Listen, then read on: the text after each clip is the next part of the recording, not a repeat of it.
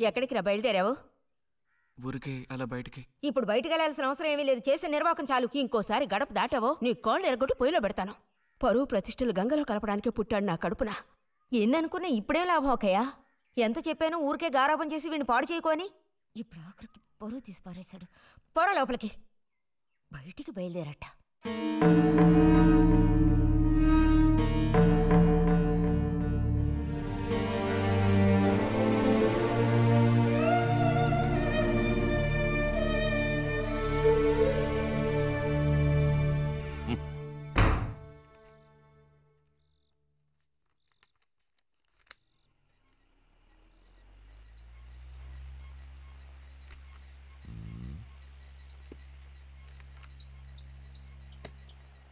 ఆ.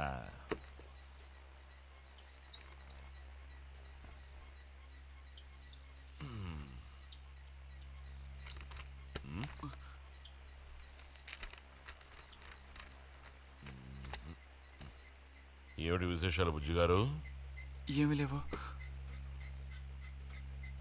స్మాలేస్తావా దమ్ములాగుతావా? లేదు. రే మగ పుట్టుకంటూ పుట్టాక కొన్ని అలవాట్లు ఉండాలిరా. అవన్నీ వీళ్ళకి తెలియవు. కాకపోతే కాస్త చాటుమాటుగా గుట్టుగా అన్నీ చేసుకోవాలి. మరీ నీలాగా ఓపెన్ అయిపోయి బయటపడిపోతే ఎలా? ఆ, సరే కానీ ఏమైంది? ఏది? ఏమైందిరా? నాకు విషయం తెలిసిలే అంతా విన్నాను? నేను. ఇలా చూడు ఇంకోసారి ఇలాంటి పిచ్చి వేషాలు వేయకూడదు. అర్థమైందా? ఆ, నేను స్ట్రిక్ట్గా చెప్పేశానులే ఆ? మిమ్మల్ని లాభం లేదు. అరే అది కాదు. వస్తానురా ఆ?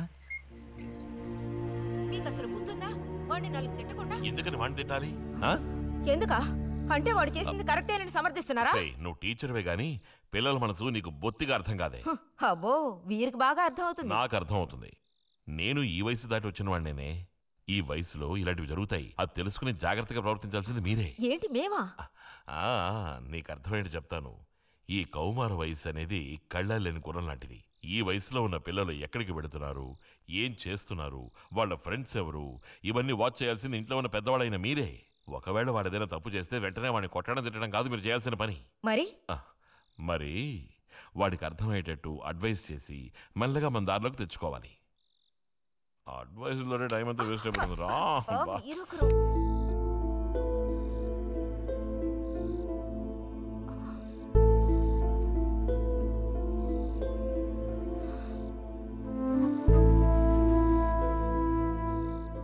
పద. ఒక ముద్ద తిందు గాని. మనసులో ఉన్న బాధ తట్టుకోలేక నిన్నలా అన్నాను. అక్కడ అలా చూసేసరికి కోపం నడుచుకోలేక నోటుకొచ్చినట్టు తిట్టాను. నా కన్న బిడ్డ పరువుకి భంగం ఏర్పడితే చూసి తట్టుకోగలనా? ఏమే నాకు విషయం చెప్పు. నాకు దిక్కెవరే? నువ్వు తప్ప.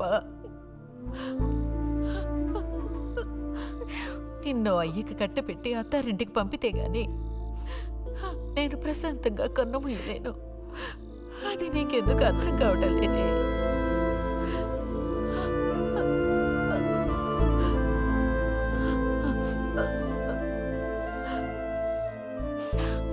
నా బంగారు తల్లివి కదూ వచ్చి తినవే.